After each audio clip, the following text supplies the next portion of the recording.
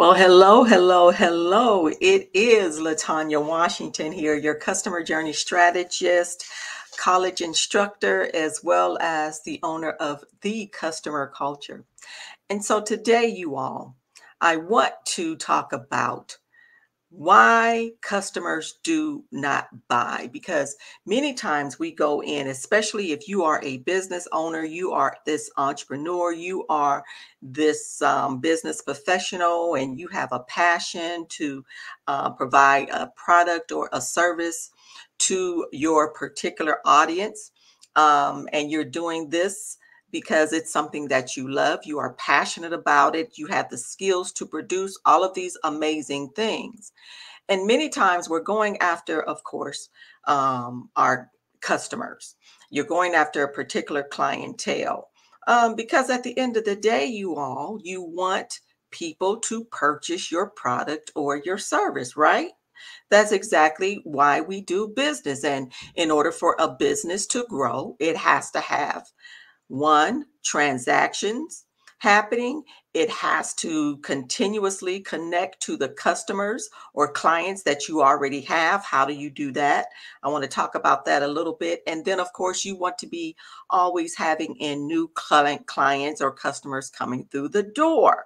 There's another way in which we do that as well. And so um, I, I say this because we're talking about uh, many times we ask the questions where are the customers? How do i get more customers? Yada yada yada yada yada. But as i always talk about you all even when we talk about the customer journey the question now has to become why customers do not buy? That literally is the right question because the mentality of us because guess what? You're a customer too. Have you thought about why you did not purchase from a person or you did not purchase a particular product or you did not enroll in a membership? You, you got to start thinking like your customers, your clientele. This is going to really, really help you in the long run because let's talk a little bit about the mentality of the customer, the mentality of the customer. But along with that, you all make sure you like this um, video. Make sure you subscribe, share it with other people, other business owners, other entre- entrepreneurs that you know need to hear this on today. Okay. Um, I definitely appreciate it. Also, if um, you have any questions for me, send me a a message, leave a comment below, or send me an email at ask at latonyawashington.com. All right.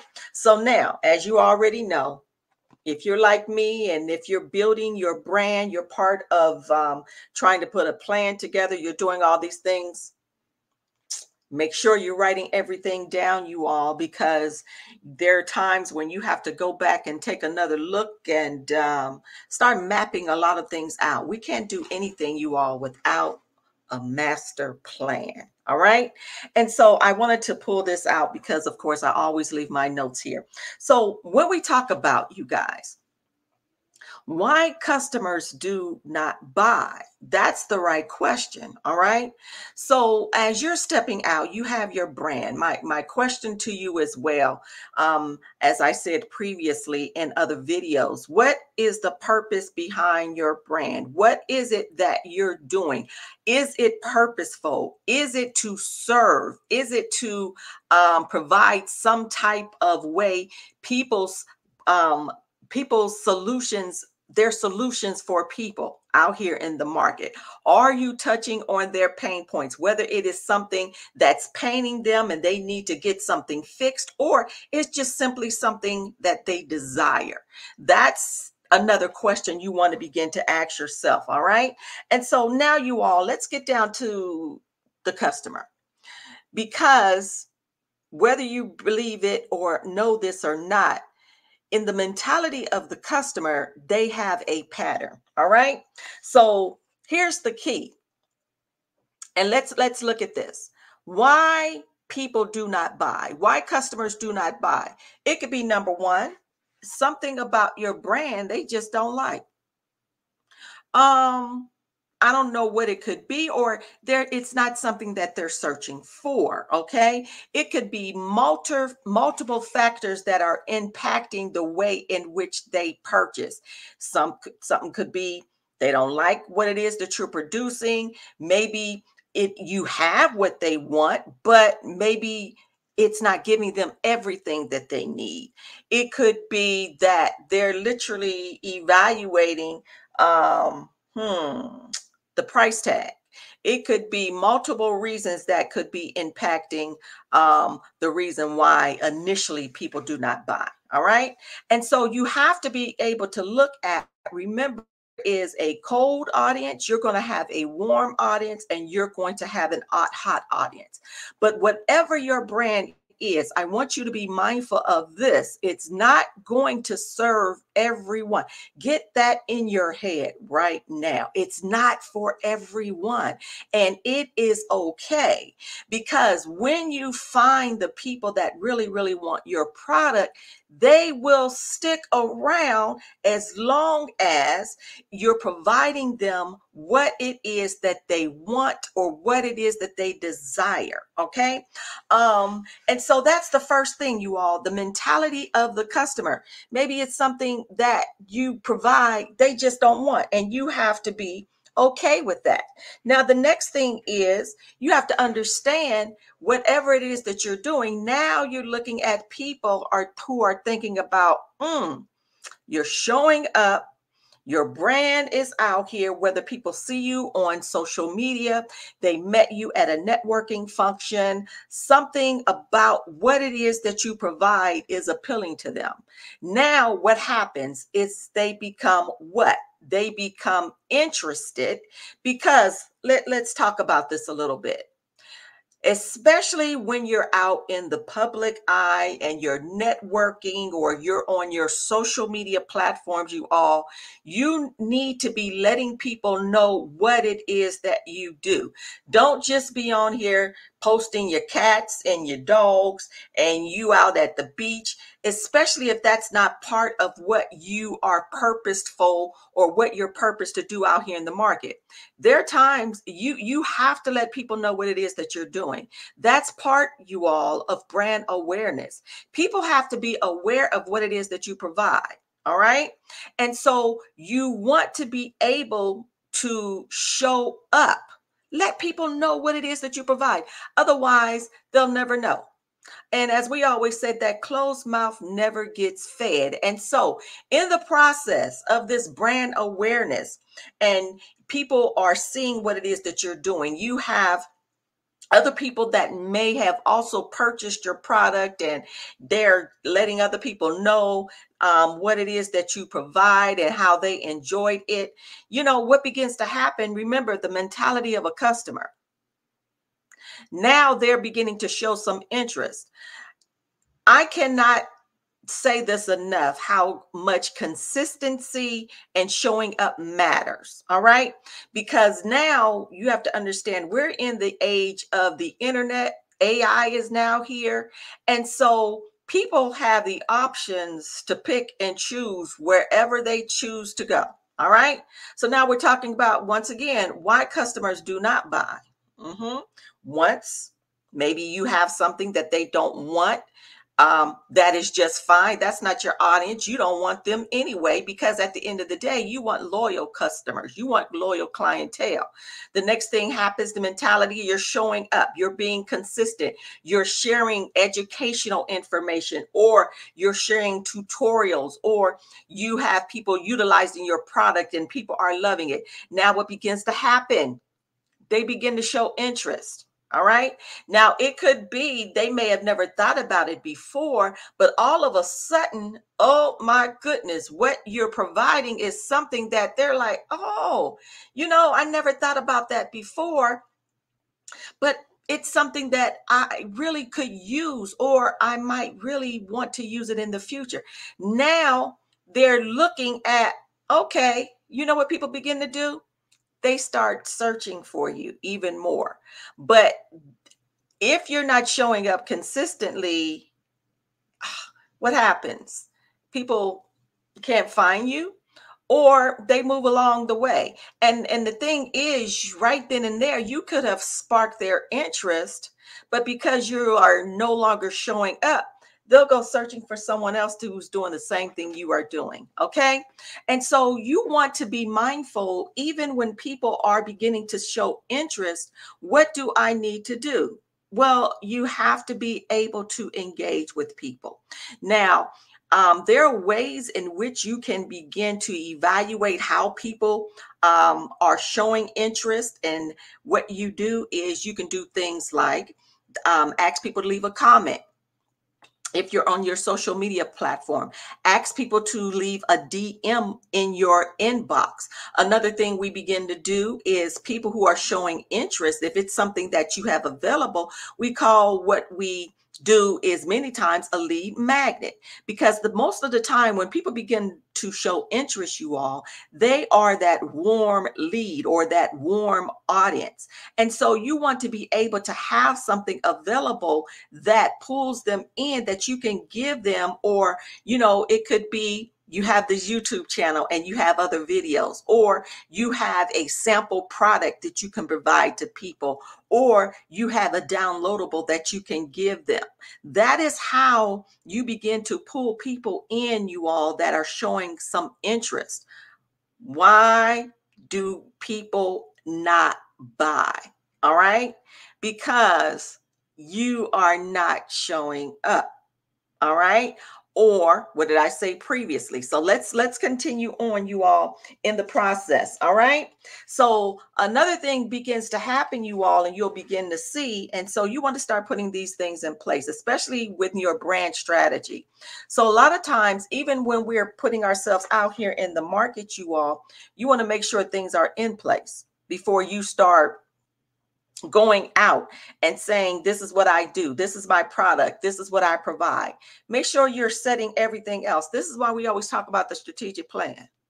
Um, what goal did you have set for yourself in the first place? See that's a whole nother topic and i'm gonna keep that for later all right? We're gonna talk about that later as well all right? And so what begins to happen you guys when you have things in place remember people begin to show some interest? When they show interest you all what do they do as well? Think about you what do you do when you begin to show interest? People start hanging around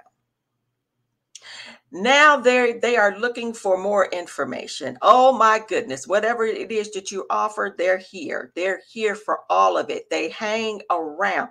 Understand the mentality of the customer the mentality of the clientele. You all there are patterns and they don't change well, they can change depending behaviors can change. But when we begin to look at patterns of people, it starts with you showing up, you um, making people aware what it is that you have. And now, if they are the right people, they begin to show interest. All right. And then as they begin to show interest, you all tr- trust, tr- trust me, trust me when I tell you. Even when they're showing interest and they start thinking about something, what do we do? Mm, trust me. We're also comparing, we're evaluating the functionality of a thing, we're looking at the price tag of a thing. But if you are consistently pulling people in, providing something in, because at the end of the day, you all, you have to understand this as well. In order to get, you're going to have to give. Remember, we talked about previously. Maybe you have a sample of something that you can give. Maybe you have that downloadable. Maybe you have a tutorial. Maybe you have something. Think about all of these things as you're putting together your brand. All right. You have to give to get, give to get. All right. Um, be mindful of these things. And in the process, even if people are searching other people out, let me tell you, when you begin to gather their information, you all, and you begin to connect, even some people even do a what we call a discovery call. In a discovery call, many times you're you're evaluating what it is that they're looking for. Now, if you're good and you develop the skill, you'll be able to break down exactly what it is that they are searching for it. Let them talk to you. And then being able to discover what it is that they're they need. But help them help you, as we say many times. Let them begin to share more and more about what it is that they're searching for or what it is that pains them the most and how maybe they're trying to elevate up in the market or it could be they're searching for a new trampoline for their their kids or their grandchildren. Help people in the process. This is where it's very vital for you to be able to discover what it is that they're looking for. Now guess what? You're able to provide them the solution all right. So now we don't give them, we're able to provide the solution, but remember, you're still looking to make them a, a, customer or a client. So you can share with them the solution, but of course, there's still steps that they have to take that you both have to go through in order for them to get to the solution. All right. That's the same way, even as you're building your brand. Remember, you had this goal in mind. Could be revenue, could be um, this is what I'm looking to put out in the market. This is what I'm looking to do. But guess what? There were steps in order for you to get to the goal. Same thing goes for your customer. The, the thing is, here it is. You are the, the guy guiding them to get to the solution.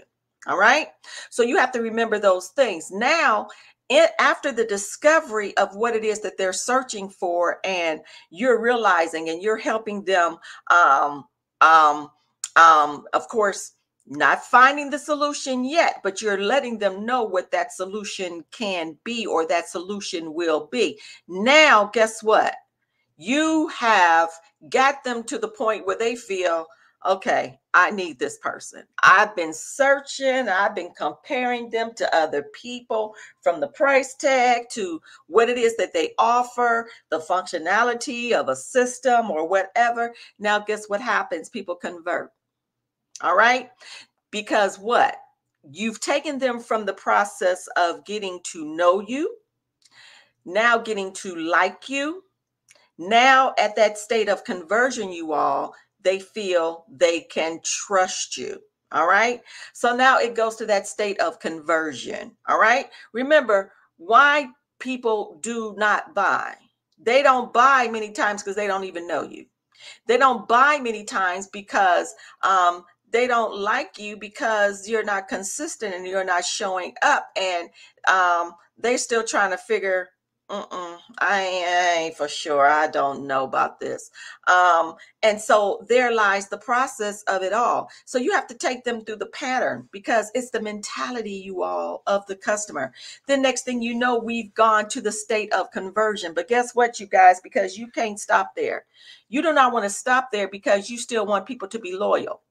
The most, most, oh my God, they say the most, most customers are loyal customers because not only is it that what it is that you have for them, they know it's good. All right. Because they're now convert, they converted, they purchased your product. Now, guess what? They purchased your product. Now, what you think they got to do? They got to try this product. Now they're trying this product. Does this product really do what it says it's going to do? Did this product break down? Did the people that purchased, that sold me this product, where are they? Did they leave me? You know, what's going on?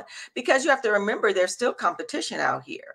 So now people begin to utilize that product. And if they love this product and you now have some other things in place where they can also purchase or they know you are there, your customer service is on point, customer success has gone through the roof, it has happened. Now people utilize this product. You know, guess what? You all set this thing up. Ask for a testimonial. Ask them to provide you with a testimonial because you're going to need that for other customers or other clientele to come through the door. Remember, that's also part of helping in the mentality of people purchasing your product. Okay. And so, what happens as well, even when we have our loyal customers, you all, they begin to share what it is that you offer to other people. All right. So there are multiple ways in which you are able to obtain um, customers, um, getting those customers to um, share with other customers, become advocates, or provide word of mouth. And guess what? It still don't stop there.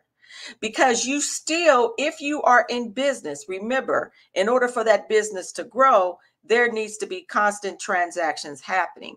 Either you have a membership and you're still providing things for people, or you have product and you're still creating multiple product for people to purchase. People will come back for more if they are happy with what it is that you provided to them the first in the first place. All right. So now we have people who come back for more. All right. Them is the best. I'm gonna tell you right now, those are the best clients you want people to come back for more. All right. And then what you want to happen as they are spreading the word to other people, those other people um, love are loving it. And now they come back for more. And what do they do? They bring other people with them as well. All right. And so you have to be mindful of those things. So, what are things in which you need to make sure that you have in place, you all, for people to come back and gather more? Well, like we said before, you want to make sure if you have a website, make sure it is consistently updated. All right.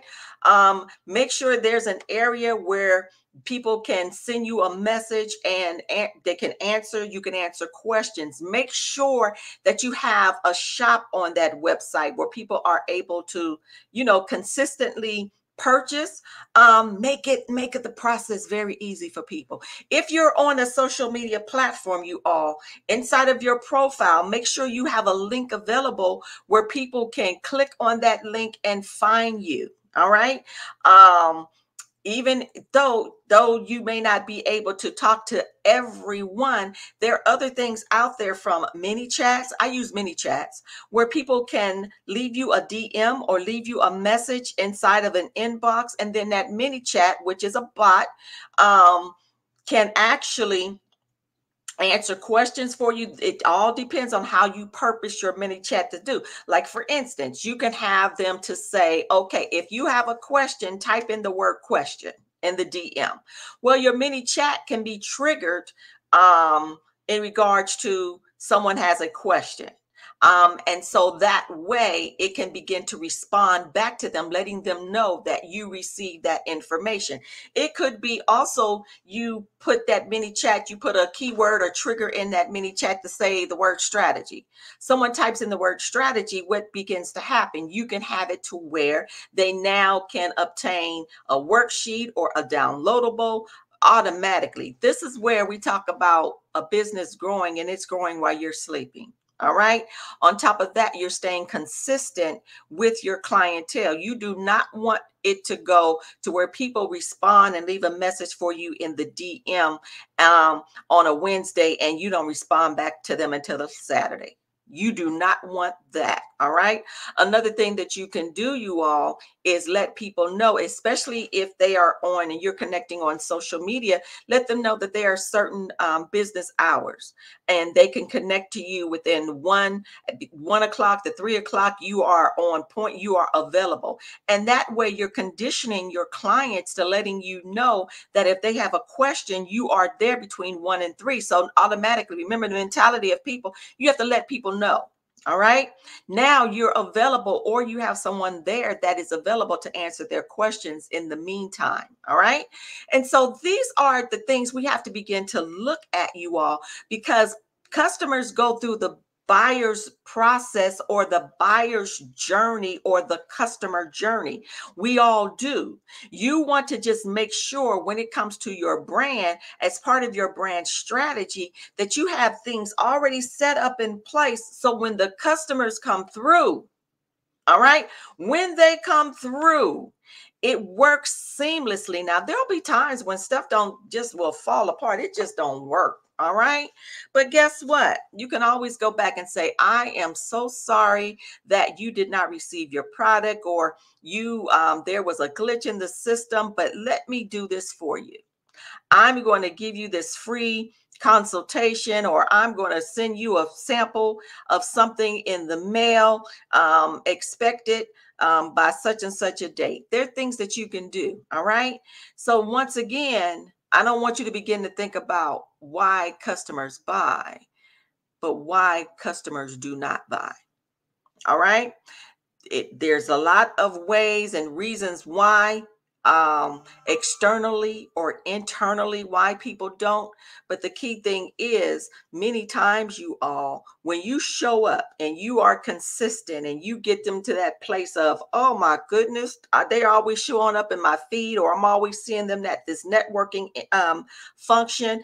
Um, they're always sharing about what it is that they provide, especially the people that want what it is that you have to offer. Remember, once again, everybody is not going to want your product. All right. Be okay with that. Um, and and and tell yourself and stay positive and say they may not want it, but I know there are people out here who do. All right.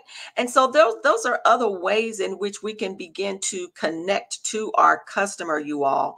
But remember, never forget, once you connect and once they start to show some interest, once you are showing up consistently, they too go through a process. All right.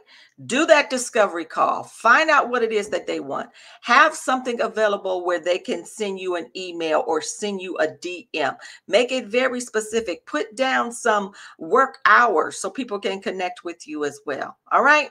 I'm going to stop right there. But remember, subscribe to this YouTube channel.